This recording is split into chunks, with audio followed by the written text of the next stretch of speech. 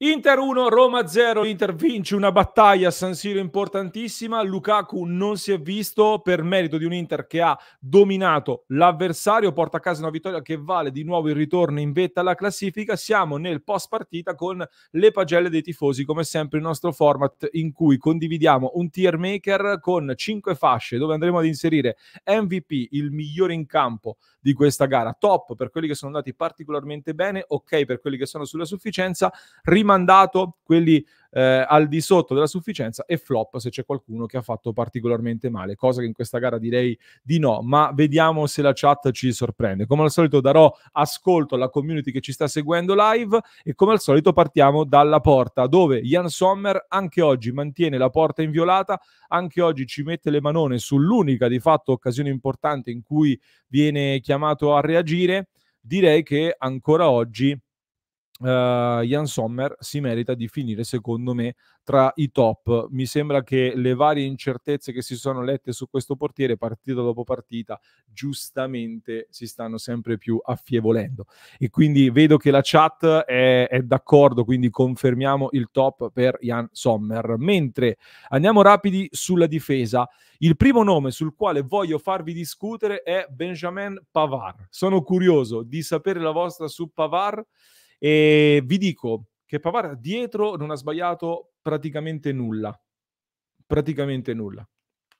Però prende un'ammonizione, rischia di prendere anche la seconda, secondo me, in un'occasione un po' ai limiti dove fa un intervento così.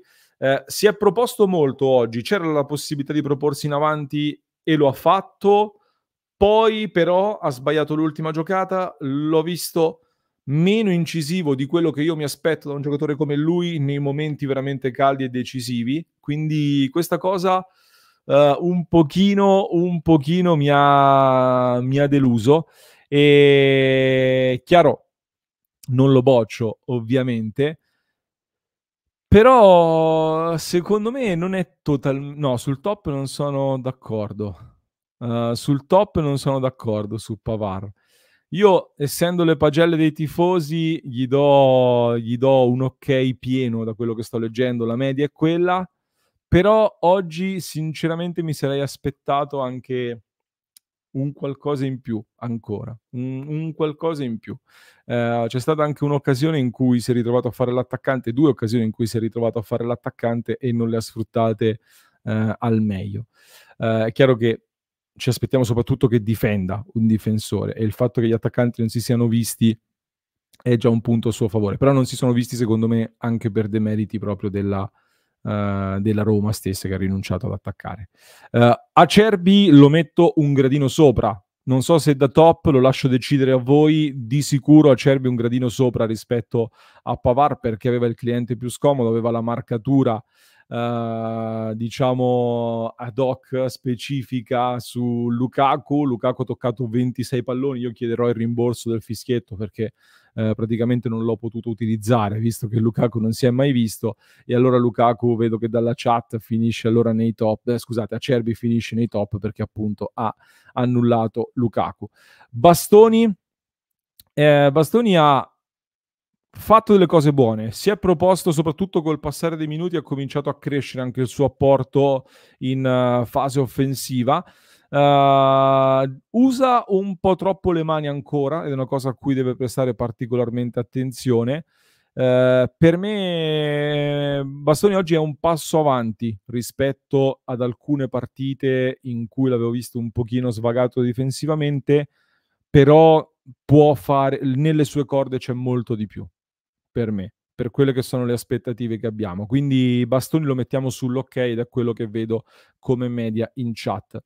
Uh, arriviamo a centrocampo dove Dumfries per me eh, fino al gol fino al gol di Turam è stato il migliore in campo Dumfries oggi. Bravo, con personalità, con fiducia, è andato ad attaccare il fondo. Uh, in alcune occasioni, secondo me, è stato penalizzato dall'arbitro che ha fischiato dei contatti incomprensibili con Zalewski. Quindi per me Dumfries, sì, vedo la chat tutta d'accordo sul top, inevitabilmente Dum- Dumfries è stato il migliore subito dopo Turam, secondo me, per quello che è stato l'apporto uh, offensivo dell'olandese. Uh, Barella. Barella, ragazzi, per me oggi è stata una partita da passo avanti netto rispetto alle ultime apparizioni. L'ho visto davvero dentro la partita 90 minuti su 90 eh, è stato elettrico al punto giusto nella gestione di questa partita. Eh, l'ho visto attaccare, recuperare palla alto. C'è stato un solo errore a commesso per me alla fine, che però rischiava di costare molto caro, ma poi lì la difesa ha saputo chiudere bene. Eh, io un ok bello pieno di incoraggiamento a Barella, tra, tra virgolette di incoraggiamento, eh, glielo do e, e, se lo merita. Il migliore degli ok per me in, uh, in questo momento. E Cialanoglu. Cialanoglu, che mi dite per Ciala? Si prende un cartellino giallo tra le proteste Roma, dei romanisti che volevano addirittura l'espulsione, ma vabbè, eh, no, non scherziamo, non scherziamo nemmeno. E colpisce anche una grande traversa. Uh, io li metto più o meno lì come valutazione Barella e Ciala, perché Ciala rischia un po' su quell'intervento lì Barella è stato dentro la partita per tutti i 90 minuti anche alla fine, mentre Ciala è stato sostituito. Uh, io li metterei alla pari, li metterei alla pari sinceramente, quindi appena sotto il top i migliori dei, degli ok, uh, anche a Cannes. Quindi eh, sì, sì, dai, dov'è Cialanoglu? Eccolo, lo mettiamo insieme a Barella. Mkhitaryan invece, che mi dite? Mkhitaryan che mi dite? Mkhitaryan ragazzi, primo tempo non mi ha convinto molto, sinceramente. E già contro il Salisburgo mi aveva dato qualche sensazione di calo, personalmente. Oggi mi è sembrata una piccola conferma in questa direzione. Forse, um, allora, Mkhitaryan è sempre un po' un diesel, devo dire, perché comunque anche nel secondo tempo è venuto fuori meglio. Però uh, forse il momento di provare anche Frattesi e Barella insieme uh, lo, lo, potremmo, lo po- potrebbe essere arrivato. Dai, lo mettiamo sul rimandato giusto per differenziarlo, ragazzi. Non, uh, non, è una bocciatura, è un rimandato giusto per differenziarlo dagli altri, perché secondo me nella scala tra Barella e Mkhitaryan c'è della differenza comunque, quindi quindi lo metto sotto Mkhitaryan, solo per quello, solo per quello lì. Grazie Mr. Books per esserti abbonato su Twitch, grazie di cuore per l'abbonamento su Twitch e per il sostegno. E poi Di Marco a sinistra, Di Marco oggi ragazzi per me è stato più bravo delle ultime uscite, magari in alcuni momenti anche meno appariscente del solito, Uh, però um, è stato più bravo nel gestire le decisioni tra quando crossare e quando venire a giocare l'ho visto più dentro la partita uh, personalmente.